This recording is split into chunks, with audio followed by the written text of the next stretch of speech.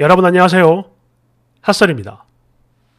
이번 시간에는 그러니까 입으로 며느리를 임신이 아니고 아들을 이혼시키게 생긴 그런 할매들 데리고 왔습니다. 그럼 봅시다. 제목 아니 너는 왜 임신을 못하냐? 지금 이 집안 대를 끊을 셈이냐? 아이 도대체 뭐가 문제야? 바로 할매 주둥이요.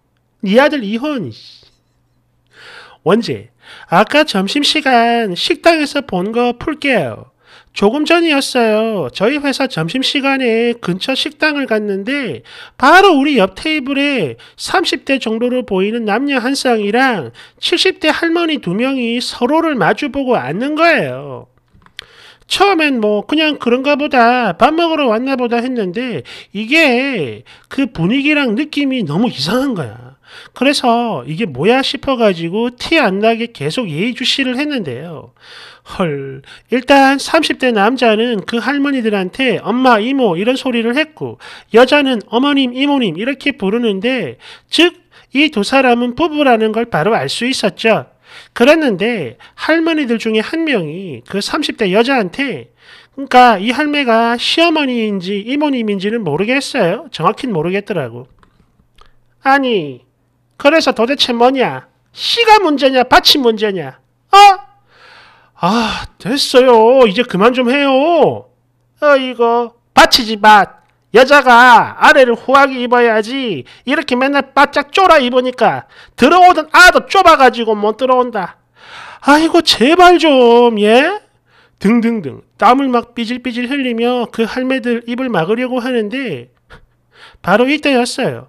여자가 벌떡 일어나더니 그냥 나가려고 하는 거야. 순간 헐 이러면서 곁눈질로 계속 쳐다보는데 막 울그락불그락 하던 할머니 일이 고함을 빽 찔렀어요. 어? 또 뭐냐? 뭐가 문제냐? 이랬는데 여자 하는 말이 네 주둥이요. 딱 이러고는 완전 깜짝 놀라는 남자한테 야, 너 이혼이야 이 새끼야. 이렇게 쏴버리고 밖으로 나갔어요. 그러자 남자는 여자를 붙잡기 위해 바로 튀어 달려나갔고 남아있는 할매들끼리 아이고 여자가 잘못 들어왔다 이러면서 계속 한숨 푹푹 쉬면서 욕을 하더라고. 아니 근데 아래를 후하게 입으라는 게 도대체 뭔 뜻이에요? 뒤에 또 있습니다. 댓글 1번 그러네 맞네. 주둥이가 범인이네 아유 늙으면 죽어야지 라는 말이 이럴 때 쓰는 건가 봅니다. 헐. 2번? 뭐 그냥 별거 아니고 펑퍼짐한 옷을 입어라. 이런 뜻이에요. 쪼이는 거 말고. 그런데 저 할머니가 말을 너무 더럽게 한 건 맞지만 이 말이 그렇다고 영 틀린 말은 아니더라고요. 3번. 시와 밭. 둘 중에 누가 문제인가? 이거는 그렇게 중요한 게 아니에요. 하지만 내 새끼는 절대 아니다. 무조건 네 잘못이지. 이런 편견을 가진 어른들은 참 많죠. 4번 깔깔 저 할매 아들 오늘 이혼당하겠네. 5번 와 저 주둥이 진짜 한 대 때리고 싶다. 뭐 어제 올라온 사연이니까 뭐 오늘 이혼당 짧아서 하나 더 가지고 왔습니다. 어, 두 번째 사연 원제 강아지를 키우면 집을 안 주겠다는 시어머니. 제목 그대로예요. 제가 지금 남친이랑 결혼을 하려고 하는데 예비 시어머니가 강아지 키울 거면 나는 집을 안 주겠다. 이렇게 말을 했다고 해요. 네, 맞아요. 제가 강아지 한 마리를 키우고 있거든요. 그리고 이런 제 강아지를 당신 아들을 통해 확인한 뒤에 이런 소리를 했다고 하는 겁니다. 진짜 얼처구니가 없죠. 아니, 개를 우리가 뭐 대신 키워달라는 것도 아닌데 왜 이러는 걸까요? 참고로 저희 강아지는 믹스견인데 뭐 솔직히 말씀드릴게요. 말티즈처럼 작은 강아지는 아닙니다. 그냥 진돗개보다 약간 작은 그런 중형 정도 돼요.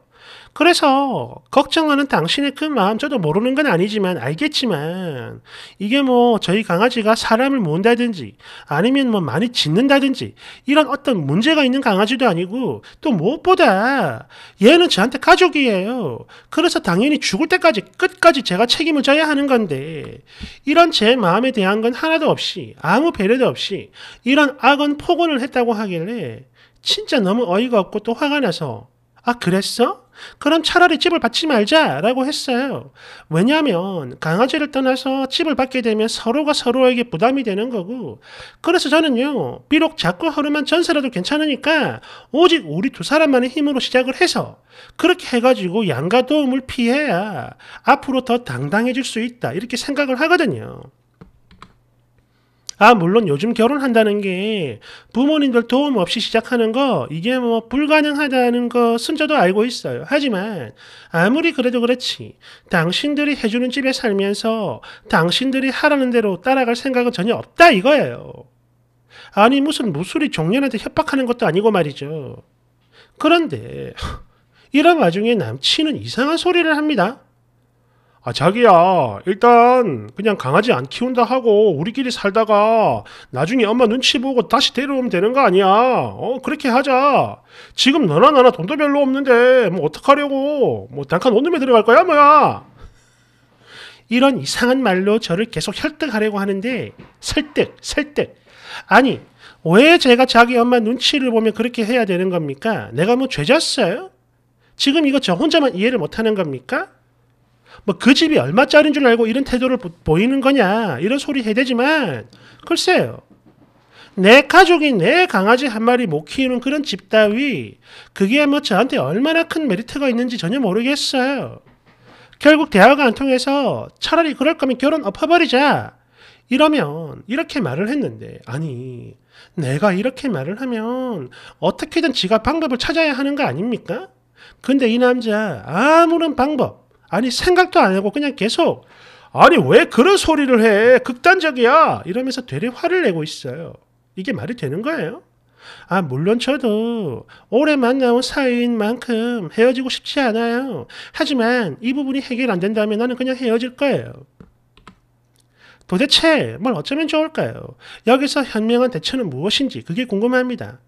여러분들 저한테 무조건 뭐 헤어져라 걔를 포기해라 이런 식의 극단적인 방법보다는 좀 좋게 해결을 보고 싶거든요. 어? 집도 받고 개도 키우고 그러니까 저랑 비슷한 경험이 있는 분들 댓글 달아주면 좋겠어요.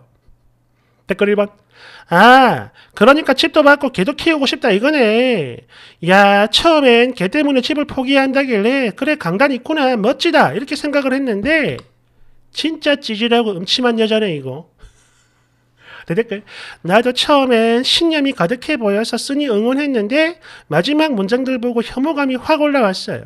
아니 남친 탓하면서 집도 포기 못한다는 거 진짜 찌질해. 뭐야 이게? 2번 네 그래요. 뭐 남친이랑 헤어질 필요도 없고 걔를 포기 안 해도 됩니다. 거기다가 시부모 눈치 따위 볼 필요도 없는 좋은 방법이 하나 있어요. 그냥 쓰니 부모가 집을 해주면 됩니다. 어때요? 너무나 간단하죠? 3번 너가 엄마한테 집을 해달라고 하세요. 남친 입장에서는 어, 자기 새끼도 아니고 고작 짐승 한 마리 때문에 집 한 채를 통째로 포기해야 되는 건데 그게 어디 뭐 쉽겠습니까? 말처럼. 뭐 대충 보니까 어차피 나중에 부모들 다 돌아가시고 나면 전부 다 상속받을 거다 이런 계산을 하고 있나 본데요. 너한테 일말의 양심이라는 게 있다면 말이죠. 남친이 아니라 네 스스로가 할 수 있는 방법을 먼저 생각해 보세요. 4번 그러니까 시모 입장에서는 개 키우는 며느리가 별로인 거죠. 당연히 반대할 수 있는 거고요. 그러니 쓰니가 뭐 개를 포기하든가 아니면 그냥 남친을 놔주세요. 그럼 되잖아. 진짜로 헤어질 생각이 있다면 여기서 그냥 이별을 고하고 연락 안 받고 잠수 타버리면 되는 거 아닙니까? 근데 봐봐. 그게 아니거든. 집도 탐이 나니까 이렇게 시간 벌고 있는 거 다 티나요. 우리가 뭐 바본 줄 알아? 좋은 방법. 5번. 왜? 억울해? 듣기 싫어? 그럼 개딸린 네가 집을 해가. 그럼 되잖아. 6번. 요즘 원룸이요? 강아지 키우면 바로 쫓겨납니다. 아니 애초에 받아주지를 않는데 참 꿈도 야무지다. 7번. 이런 사람들을 보면 뭐랄까 분명 우리와 같은 사람이긴 하지만 인종이 다른 느낌이라고 해야 되나? 그리고 나하고는 적어도 절대로 안 엮였으면 하는 그런 느낌이 들어요. 아니 저 남자는 도대체 뭔 죄를 지었대. 편하게 살 수 있는 걸 땡빠가 걷어차버리고 있네. 옆에 있는 땡빠가. 그리고 쓰니도 그래. 자존심이 무슨 옥황상제급이야. 지불도 없으면서. 아니 시어머니가 뭐 개를 죽여라 버려라 이러는 것도 아니고 그냥 남친 말대로 본가에 잠시 맡겨뒀다가 나중에 다시 키우면 뭐 난리 납니까? 남친도 그렇게 뭐 돕겠다잖아. 뭐야 혹시 강아지가 상처받을까봐 그러는 거야? 8번 이래서 끼리끼리 결혼해야 됩니다. 여유 있게 살아온 남자가 앞으로도 편하게 살 수 있는 그 좋은 기회를 어? 걔 때문에 다 포기하고 고생을 해야 되냐고 이게 말이 돼? 9번 나 같아도 집 안 해주지. 걔 때문에 정작 자기 남편 될 사람은 전혀 안 소중한가 봐요. 아니 꽃길을 놔두고 같이 그지 같은 시궁창 맨땅에서 흙파먹고 고생하자는 말이 쉽게 나오는 걸 보니까 이 쓴이는 그냥 그저 본인만 중요한 거네.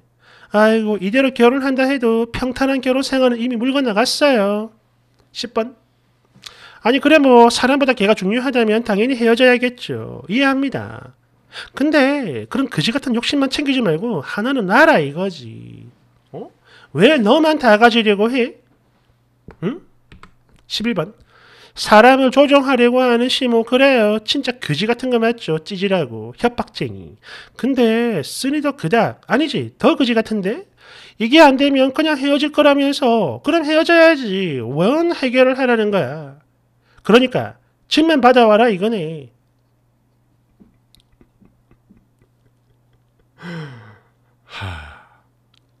야, 아까 그 할매들하고 이 쓰니하고 딱 이렇게 고부로 만났어야 진짜 제대로 된 합이 나오는데 말이죠. 완전 시궁창. 어? 돈 쪽쪽 빨아먹고 어, 조회수. 안타깝네. 음, 감사합니다.